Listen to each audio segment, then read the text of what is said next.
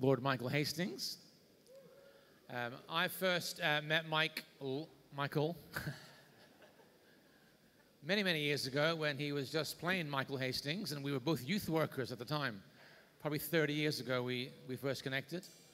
And then um, maybe three years ago, we reconnected after all that time.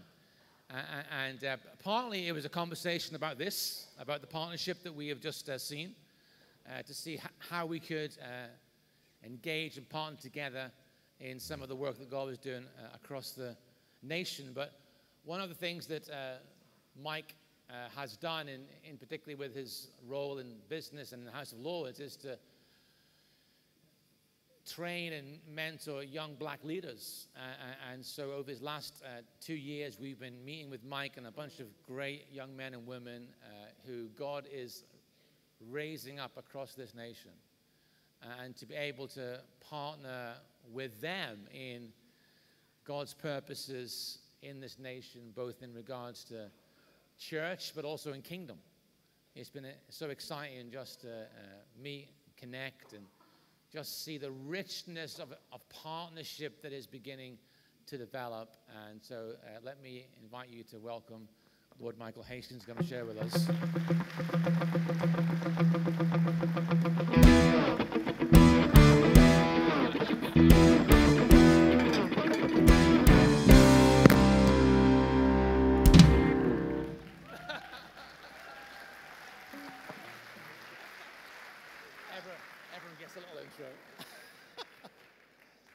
Well, I didn't know whether I was meant to dance at that point, but I'm, I'm very willing. I mean, I'll never be as good as Colin, never, ever. And, but I'll give it a go if you know. Get anyway in a minute. Uh, um, first of all, just thank you, Billy, for your warm welcome, and uh, and it's always great to see Gerald and Anona, and to see them again. So let's just celebrate them and the gift of life. There you go.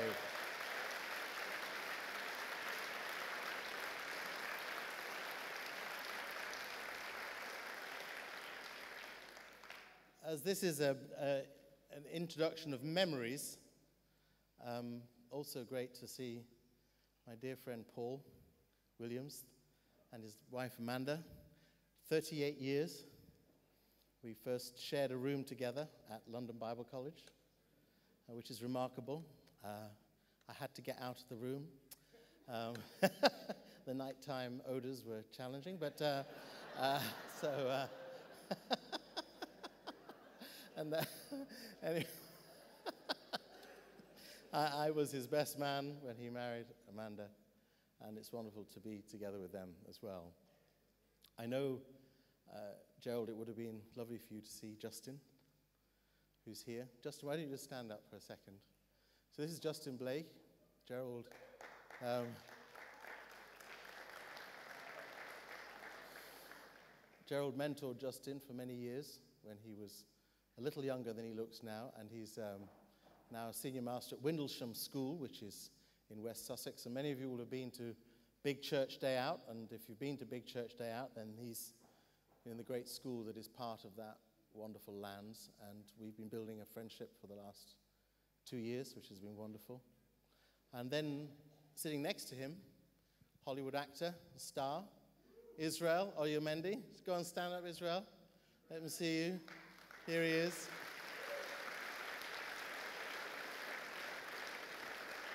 Um, we kind of bumped into each other at a Christmas event, and, uh, and then as I got to know Israel, discovered that he lived around the corner from Justin. So put the two of them together, and they were wonderful enough and kind enough to arrive here this evening. So thank you.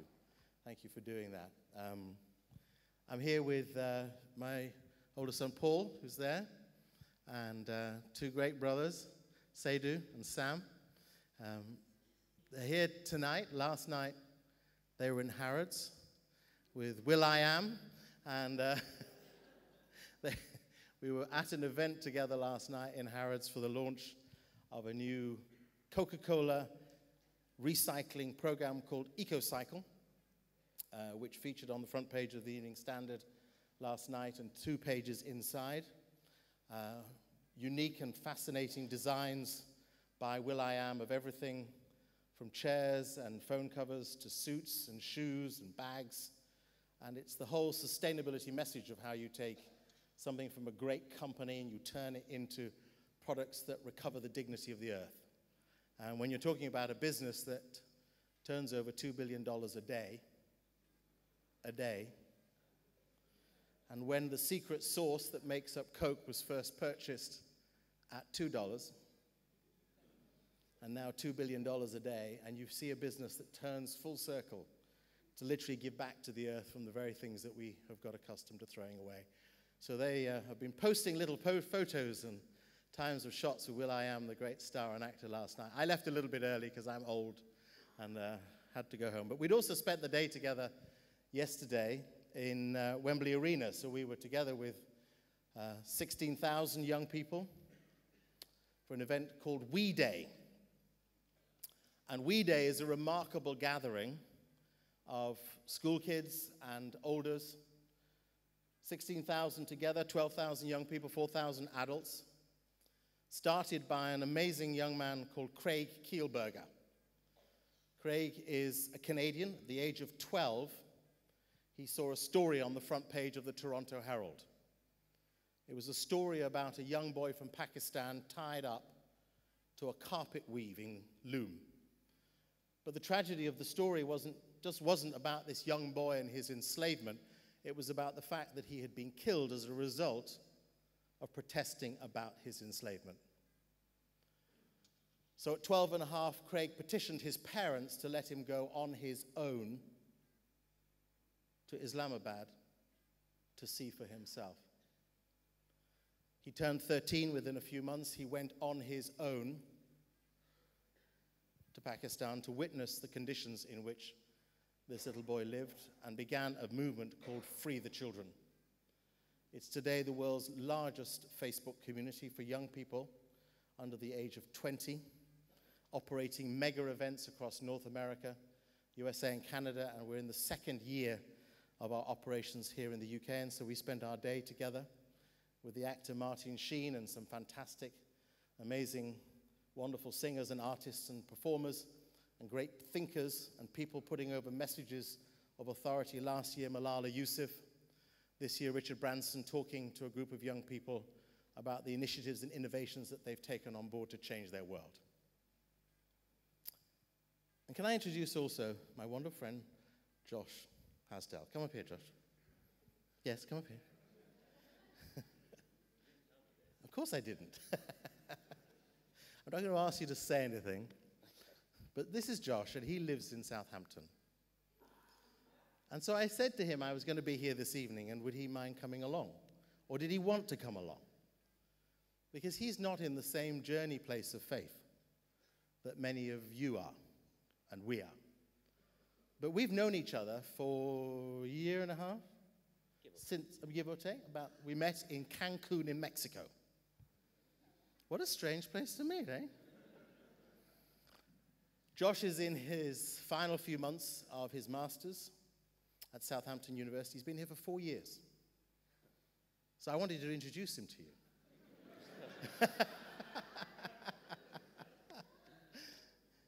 the minute we saw each other in Mexico, we kind of instantly connected and have met many, many times. So he's come up to the House of Lords. We've had lunch together. We've talked. We exchange emails together. We converse about themes and issues. He's the president of Enactus Southampton. I urge you to write it down for the writers. Get into your phone and Google it. What is Enactus? This is the cue to my friends there to get ready. Enactus is a world movement of students in 36 countries, 70,000 students, 1,700 universities, working to turn the world upside down by creating profitable businesses from the ages of 18 to 21. And those businesses becoming effective seeds of the new development our world needs. So, what do the guys in Southampton do? They came up with, and you've all had your dinner, so you can be ready for this. They came up with a very unique way of using bottles and cans to separate feces from urine. And how, therefore, to use in African situations where sanitary, situ- sanitary provision is inadequate, how to use the feces for fertilization and the urine for fertilization. Therefore, how to seed the ground and bring life back into what was growth but not adequate to feed communities. This great team from Southampton were doing that in Uh, Kenya. all over Kenya and came up with fascinating plan, a wonderful business idea, helping women to have sanitary pads because the absence of those sanitary pads meant that so many women opted out of the rest of life during their periods. And this group from Southampton trained a woman in Kenya how to not only make these out of cloth available, but how to turn it into a cycling business that provided an income for her and employment for others.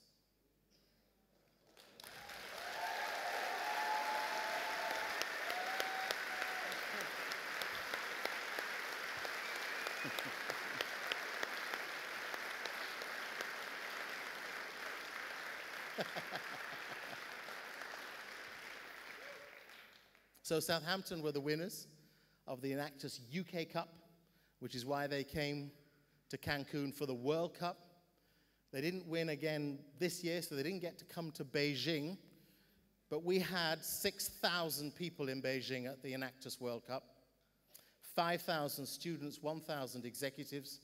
Paul was there with me, and now I'm going to show you a film that shows you what went on in Beijing to get a flavor of this organization and then immediately following it, a one minute clip that is the story of what Muhtar Kent, the chief executive of Coca Cola worldwide, has picked as an example of what this great organization does. Let's have a look.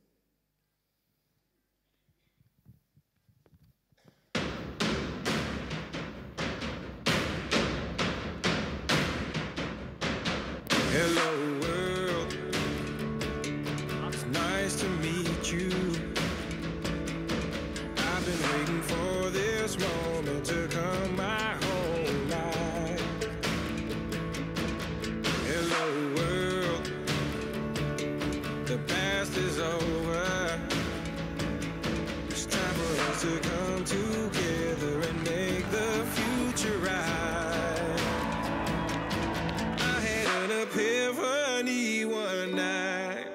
at the endless star-filled sky.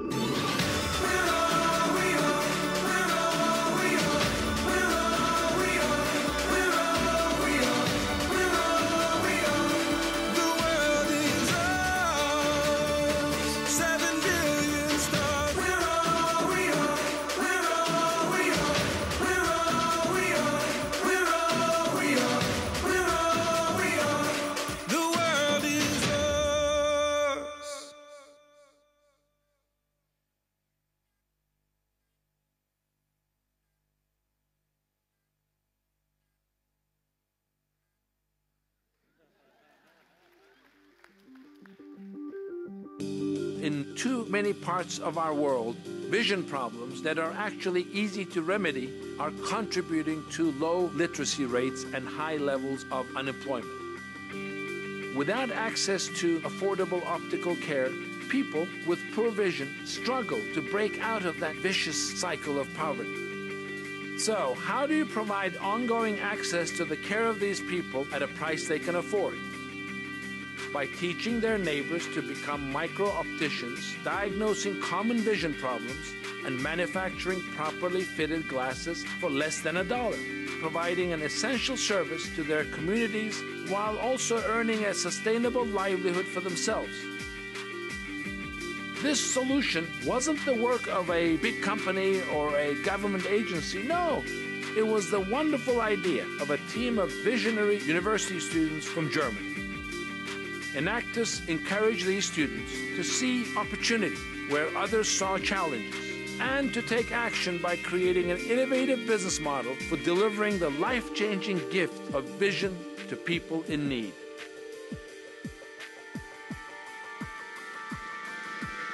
As a member of Enactus, I'm proud to support these inspiring students as they use their passion and as they use their talents to make the world a better place. To become a member, please visit enactus.org.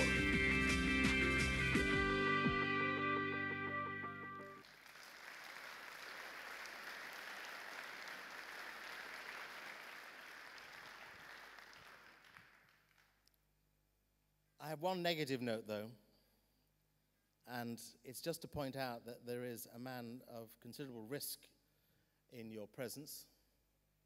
Uh, South Africans are dangerous characters. Not Alan, he's a kind, gentle, warm hearted man. But I discovered on Tuesday morning when I was going to New York and Yanni had but the short journey to Manchester that he managed to so disrupt the security system at Heathrow that I barely got a scratch of breakfast in the lounge, almost missed my flight, and out of patience and kindness endured his presence while his entire baggage was crawled over by the security people because of the high risk incendiaries that he contained within it. Please make sure you avoid this man at every moment you can. it is true we were together at Heathrow on Tuesday. He was going to Manchester, I was going to New York, and he kind of wrecked the whole experience. but I love him dearly. Let's just dive into the New Testament for a minute. 2 Corinthians chapter 6.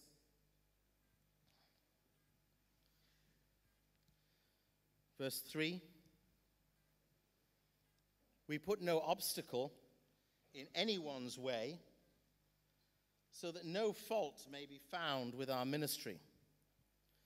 But as servants of God, we commend ourselves in every way by great endurance in afflictions, hardships, calamities, beatings, imprisonments, riots, labors, sleepless nights, hunger, by purity, knowledge, patience, kindness, the Holy Spirit, genuine love, by truthful speech, and by the power of God, with the weapons of righteousness for the right hand and for the left, through honor and dishonor, through slander and praise, we're treated as impostors and yet are true, as unknown and yet well known, as dying and behold, we live, as punished and yet not killed, as sorrowful yet always rejoicing, as poor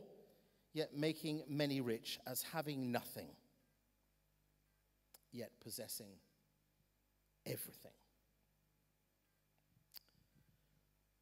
It's a completely comprehensive description of the life of the follower of Jesus. Or it should be. I sometimes read the blogs of Simon Guillebaud. Many of you, I'm sure, do. Some of you know who Simon is. This is his latest book, Choose Life 365 Radical Discipleship Readings. Simon's um, no ordinary English guy. He's born in 1973, 20 years ago. He decided to move to Burundi. Burundi is the tiny little nation just north of Rwanda. And during the period of the Rwandan genocide, which was 20 years ago, the ending of the genocide, Burundi suffered more by head of population than Rwanda did. So that's where he chose to go. A nice guy from the south of England, married a lovely girl eventually a couple of years later, has had a number of children, and they all live in Burundi. And whereas Rwanda has moved forward, and there's a lot of great things to be said about that country in terms of its technology and its freedom, Burundi remains a destitute, poor, and broken little nation. So he's a guy who knows what it is to do all the things that the Apostle Paul talks about in 2 Corinthians. That list is everything Simon has experienced. And I read these occasionally. I have to confess I don't read them every day, but I read this one on the 18th of February. And it so struck me that I wanted to share it with you and just to build something on it and see where the journey of thinking takes us. Before going to university, he said, I spent my year out teaching in a rural school in South Africa. I lived by myself in the middle of nowhere. Zebras and antelopes would graze around my thatched rondavel. Baboons tore down my roof. I woke up with a rat in my armpit. Yet it was so beautiful and idyllic and very quickly became completely normal for me. Visitors would come to stay and stand in awe at the beauty, but I'd become dull to it. Familiarity had bred contempt. I think sometimes something similar happens in our relationship with Jesus. Robert Capon explains this brilliantly, he says. We are in a war between dullness and astonishment. The most critical issues facing Christians are not abortion, pornography, the disintegration of the family, moral absolutes, MTV, drugs, racism, sexuality, or school prayer. The critical issue is dullness.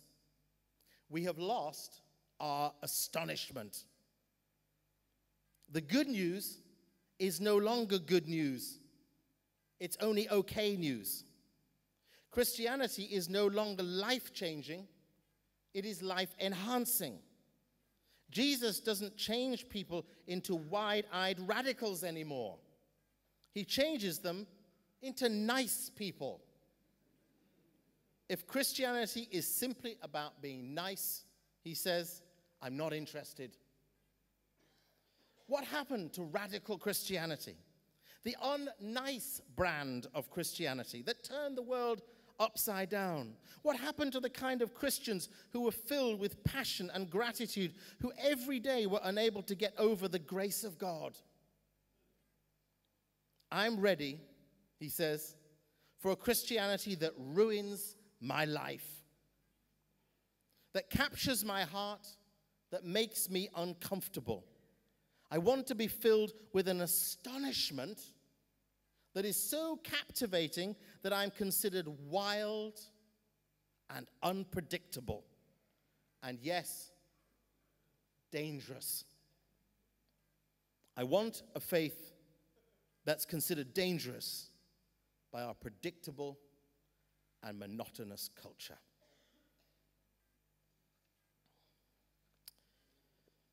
I'm going to ask Paul to step up here. Payne.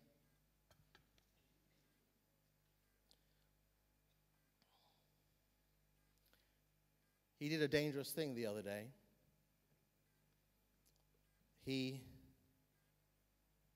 watched on his phone ISIS wreaking vengeance on Christian believers. What did you see? Uh, so, so I decided to go hunting for the infamous video of ISIS um, and the 21 believers who were beheaded. And um, I've grown up in an area that's pretty tough, so so blood and um, and violence doesn't really scare me, but but it broke my heart because um, two reasons. So firstly, the the video wasn't like an amateur video. It wasn't like like I got out my iPhone and, and recorded the image. It was it was a, a good edit.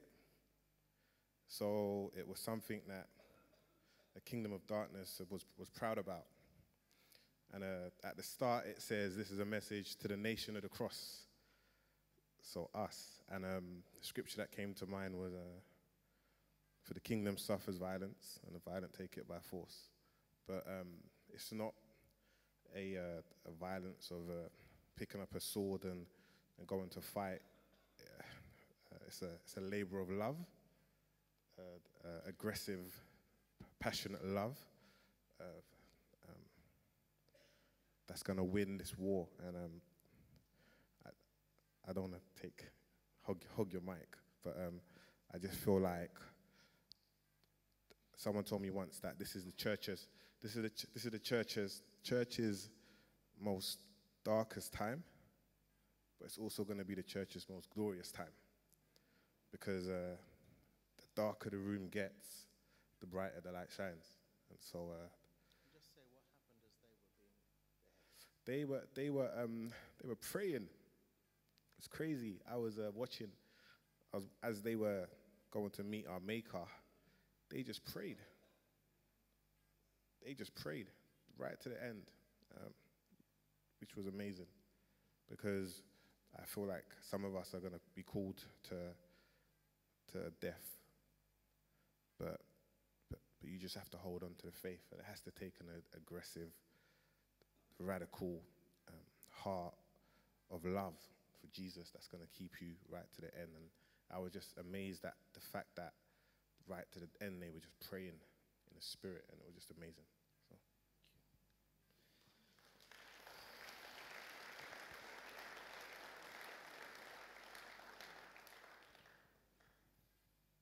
Those 21 people who were beheaded while alive called out to Jesus. This is 2015. This is not a few hundred years ago. This is on the internet. And this stuff has come close. Paris, Norway, Woolwich. This is reality.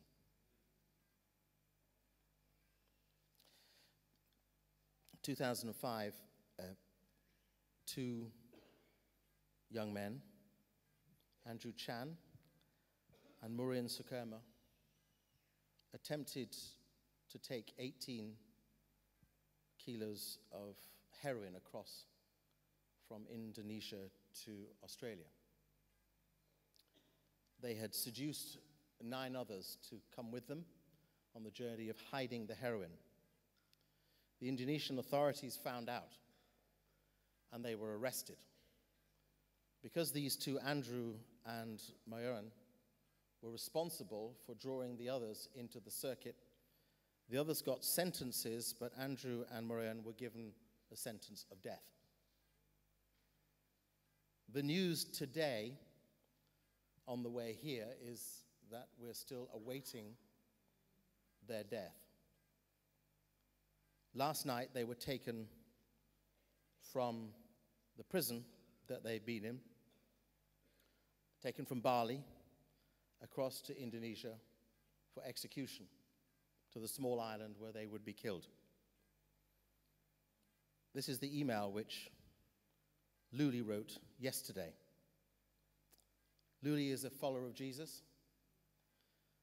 She's a friend. She's the daughter of a lovely brother, Anthony, who's mentored me for a generation.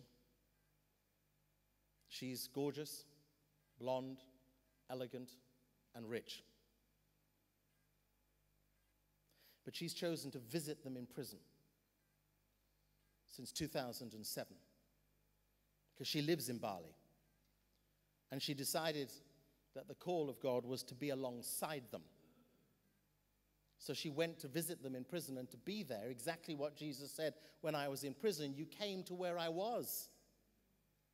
So she went to be with them, and both of them, as the months and the years have gone by, have found that Jesus is their life. And on March the 1st, Andrew was ordained in prison. Now, tonight he may die.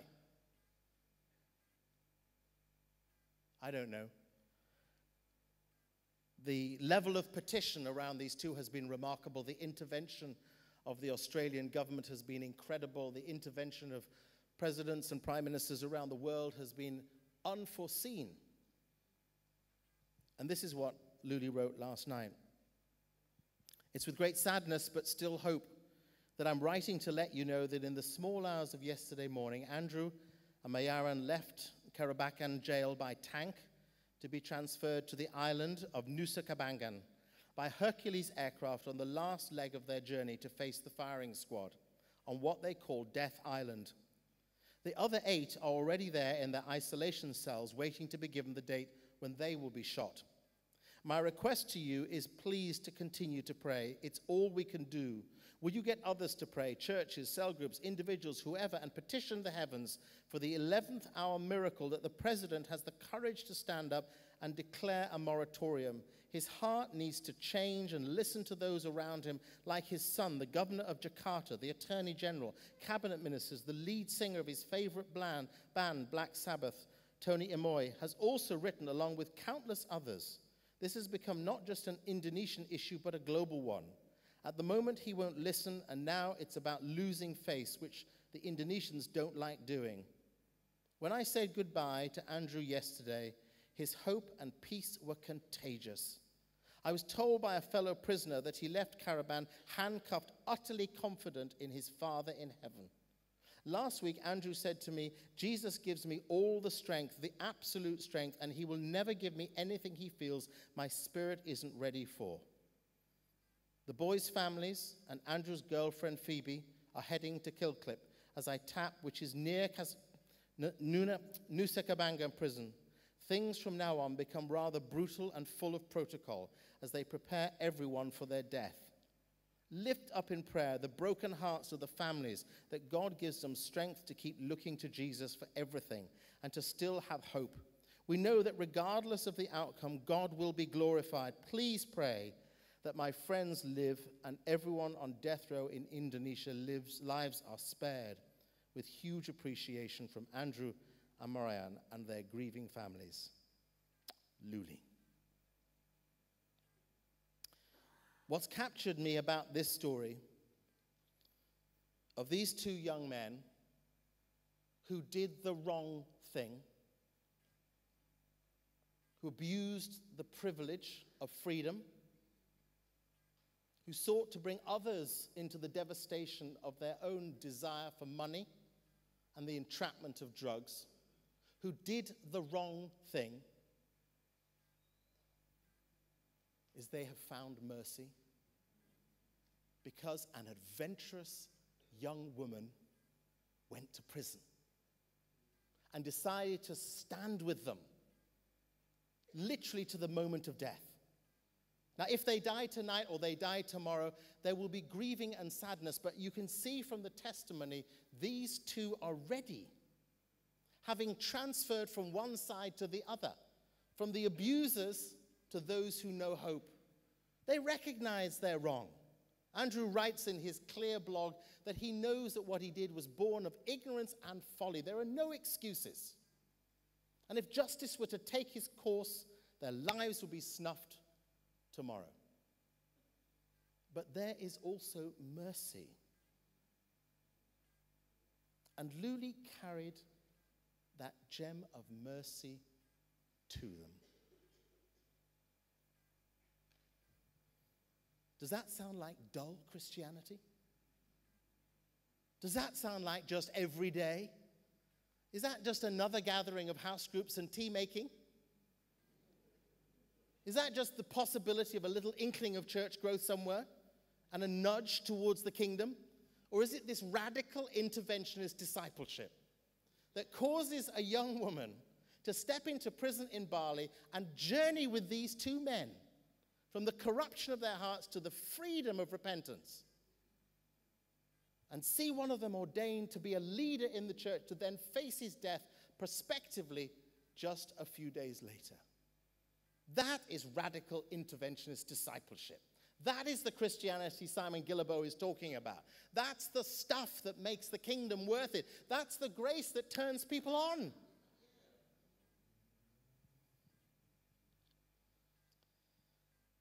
I had another little note this week.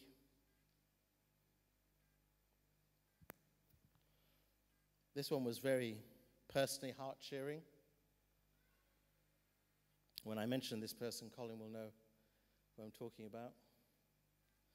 So I last year did a, a video with J. John, who's a dear friend, and it was one of those kind of he interviews me and I reply and he tells jokes and I ignore them. You know that kind of, you know the way he is. dear Greek, Greek guys? Trouble, trouble, trouble. And um, this interview with J. John uh, up on the web and all the rest of it. And then he had this note last week. So he passed it on to me. It went, because you can Google uh, J. John Philo Trust and then you can find send J. John a message. And so this message came to J. John. I've just watched the interview with Michael Hastings. Wow, how the Lord is using him. Mike, as I've known him, brought me to the Lord in 1986 when he was pastor of a house church that the Lord told him to start in Hayes in Middlesex.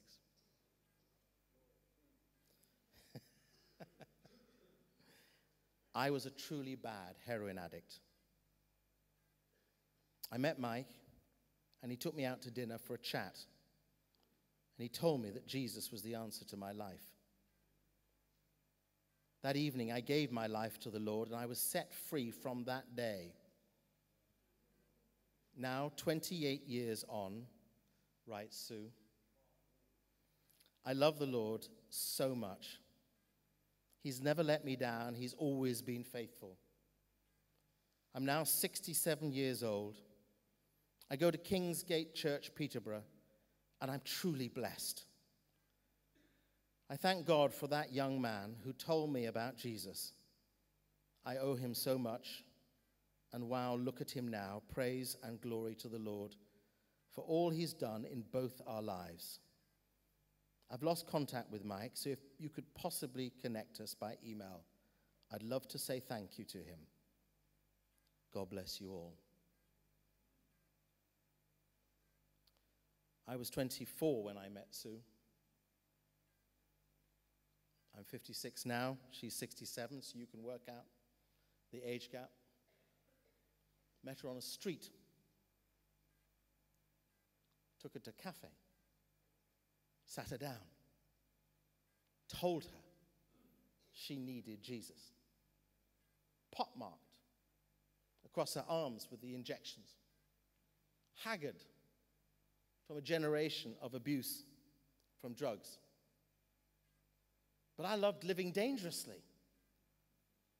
Living a dangerous faith meant not worrying about the fact that I was a young black guy and she was an older white woman, not worrying about the fact that she was literally walking the journey to death in everything that heroin would do to her, but just conscious that faced with her reality, I needed to tell her that something excited me that I wanted to excite her. This came on Monday.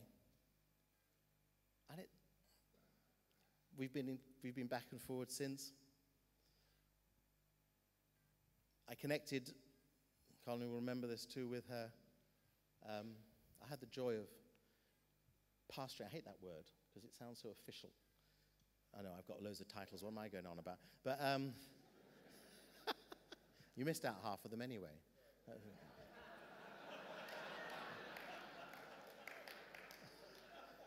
It's the Right Honourable Lord Doctor, Commander of the British Empire, by the way.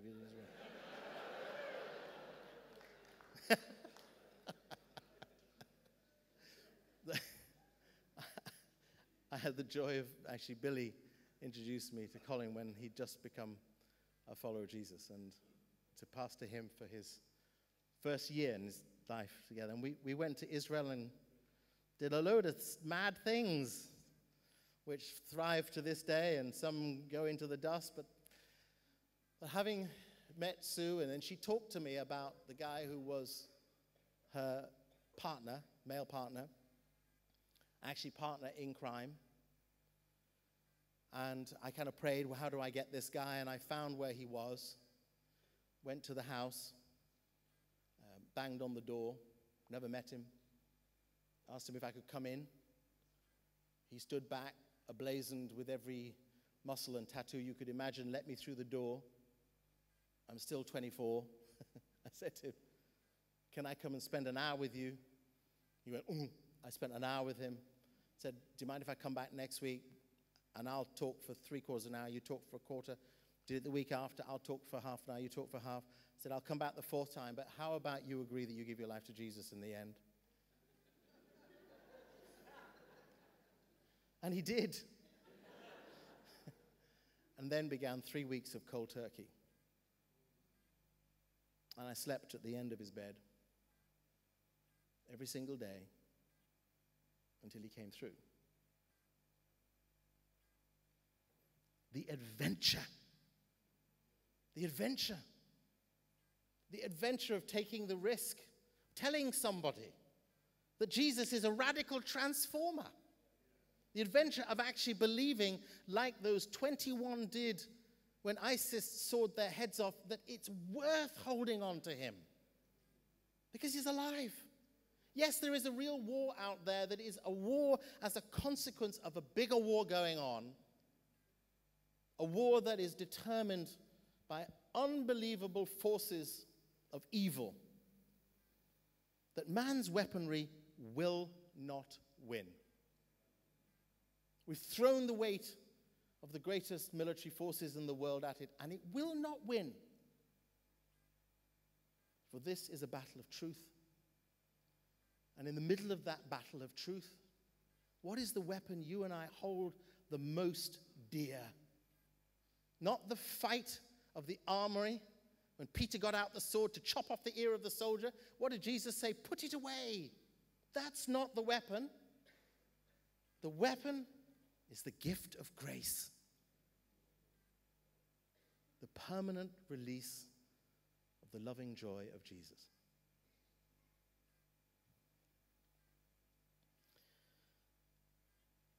At this great event yesterday at Wembley Arena, one of the speakers, as I said, was Martin Sheen, the actor.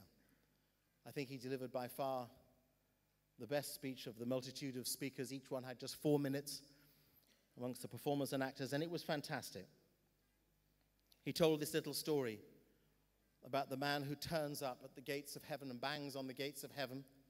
And St. Peter comes to the gate and opens it. And the man says, Can I come in? And Peter says to him, Show me your scars. And the man replies, I have no scars. And Peter says, Was nothing worth fighting for? Was there nothing worth fighting for? Nothing big enough to rise up to? Nothing challenging enough to command you? Nothing gripping enough to, to get all the way under your skin? Nothing that causes you all the list of issues that Paul says in 2 Corinthians 6 that he had gone through? Nothing? That's why we become nice Christians, not dangerous people. On my flight back on Wednesday night from New York, I watched The Imitation Game. How many have watched it here? Please get it on DVD when it comes out, or download it, or do whatever you do, but do it legally. Um, with a great actor in the house, you know, we've got to make sure we say the right things, but it's true, true, true, true, true. Do it legally, but watch The Imitation Game. Oscar winning actor, challenging film, the story of Alan Turing, the man who broke the Enigma code. If you haven't done it, please just Google the name Alan Turing, just Google the imitation game, Google Enigma code. Please just look it up. Just a few years ago, the Queen pardoned him and honored him. But he was dead. He committed suicide in the early 1950s. Shortly after the war, this man who had, in his bizarre hyper intelligence, cracked the code that the Germans used to send information about where their U boats and warships and military movements were, as literally not just thousands or hundreds of thousands, but as millions were dying in the process of German bombing and taking ships down across the Atlantic, as the people of Britain were, as the film shows, starving. Because the supply lanes were cut off as the Americans sent over food, so the Germans sank it.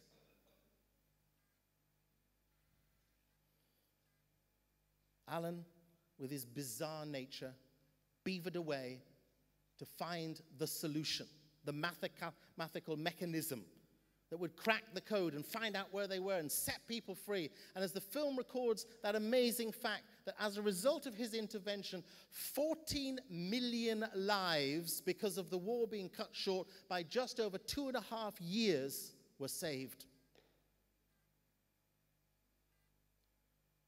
But he committed suicide because an unforgiving people hounded him for his sexuality and no grace was extended to him.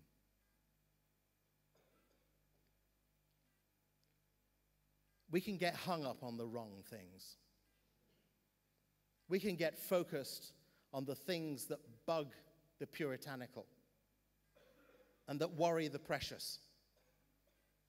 But in the fight for life, we've got to take the perspective of Jesus and not the things that trouble us. Is Peter Gregg still here? Where is he? Oh, there you are.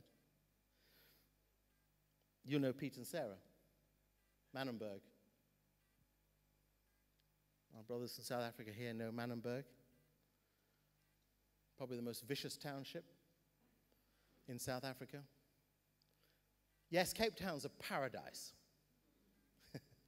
it is a paradise. It's a white people's paradise. That's true. It's got the biggest slum that South Africa has, right down on the flats. But you don't see that when you're by the waterfront or up near the vineyards. And you drive over Manenberg when you go to Cape Town. It's stunning, it's beautiful, it's compelling. I love it. I go every year. It's wonderful. As a family, we've cherished it. It's a remarkable place. But there in the heart of Cape Town, from the airport to the city, is Manenberg. When I was there last January, just two days after two police officers were shot dead point blank in the head by the gangs that control the 70,000 people that live in Manenberg. Just a month after the death of Nelson Mandela, I wondered why, in wandering around this community, there was not a single graffiti about him, no posters, nothing that said what a man he was, which he was a great radical reformer, nothing that honored him within a month of his funeral. And I went up to one woman on the streets as we wandered around in a two hour walk, during the time of which five cars drove past. 70,000 people five cars. And I said to her, Why is there no memory of Mandela here? And she said, It was like this before he was set free. It was like this when he was president. And it's still like this now. What have we got to be grateful for? Where as you walk the streets, the smell and intoxication of drugs is stiff in the air. Pete, a white British graduate, Sarah, a South African white graduate, living together, married now. In Manenberg, right in the heart, 26 years old, in the toughest community in South Africa.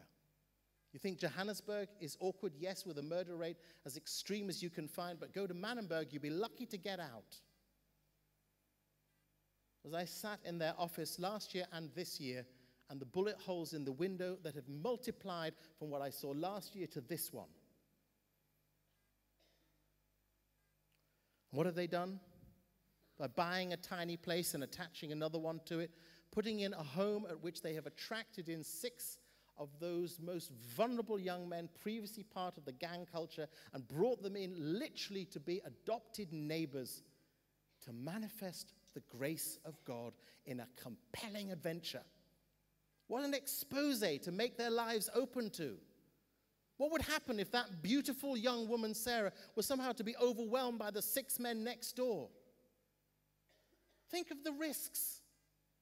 What insurance company would protect them from that? That is the adventure. That's the astonishing grace. That's the thing that turns them on. He's here in a few weeks' time. I'm bringing him to the prayer breakfast in West Sussex. Tell a little bit of the story, raise a bit of excitement, make sure that there is some understanding why they do this. Why do they love this much? Why do they love this deeply? Why do they love this hard? Why does it matter to them so much that they're prepared to literally give up the privileges of two master's degrees, which they have got from King's College London, the professional opportunities that fly before them, and serve some of the most aggressive and angry and violent people on the face of the earth? They do it because of Jesus the adventure of grace, the end of dullness, the desire for the radical, persistent, that they're not going to stop at just worshiping in church. It's not just about going somewhere on a Sunday and tipping up to a conference once a year. It's a whole life of transformation. It's a whole experience of walking that rough stuff day in, day out. And they ain't going to stop until they see the revelation of who he is in the face of those before them. That is their call. Philippians chapter 3, verse 7. Whatever gain I had, I counted it as loss for the sake of Christ. Indeed, I count everything as loss because of the surpassing worth of knowing Christ Jesus my Lord. For his sake, I have suffered the loss of all things and count them as rubbish in order that I might gain Christ, be found in him, not having a righteousness of my own that comes from the law, but that which comes through faith in Christ, the righteousness from God that depends on faith, that I might know him and the power of his resurrection and share his sufferings becoming like him in his death, that by any means possible I might attain the resurrection from the dead.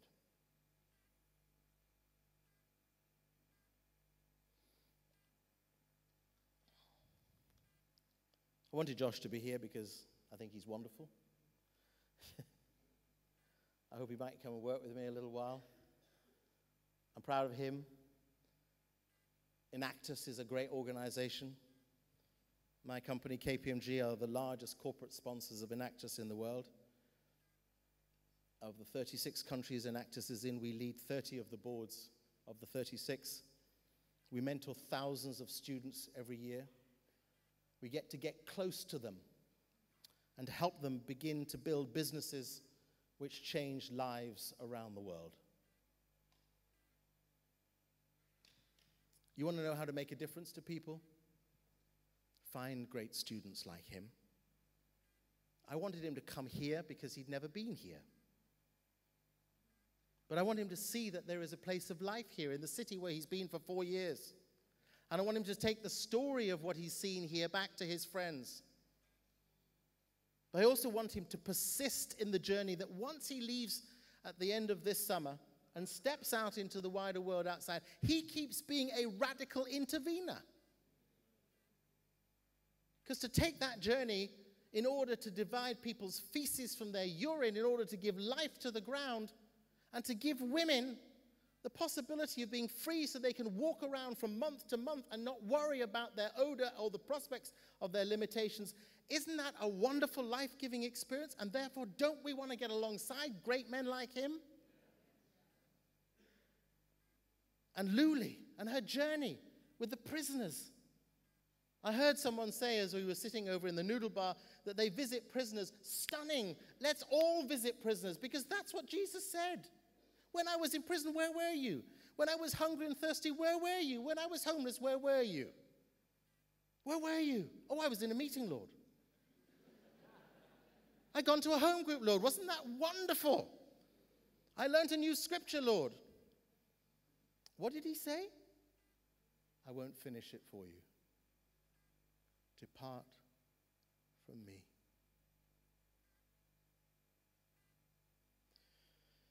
Yes, ISIS want to find the believers and behead them. I don't want them here. But if they did come here, would they find the believers?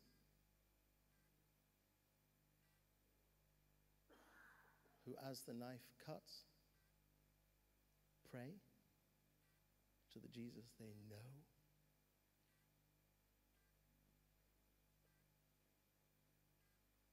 Let me just finish with um, a prayer written in 1577 by Francis Drake. You can close your eyes if you want to, or you can keep them open. But this was his prayer.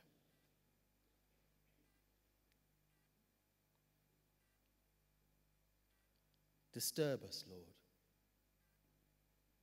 when we're too well pleased with ourselves, when our little dreams have come true because we dreamed too little, because we sailed too close to the shore. Disturb us, Lord, when with the abundance of things we possess, we lost our thirst for the waters of life. Having fallen in love with life, we cease to dream of eternity. And in all our efforts to build a new earth, we've allowed our vision of the new heaven to dim. Disturb us, Lord, to dare more boldly, to venture on wider seas when storms will show your mastery. We're losing sight of land we find the stars. We ask you, Lord, push back the horizons of our hopes and push us into the future in strength, courage, hope, and love. This we ask in the name of our captain, Jesus Christ. Amen. Thank you for having me with you.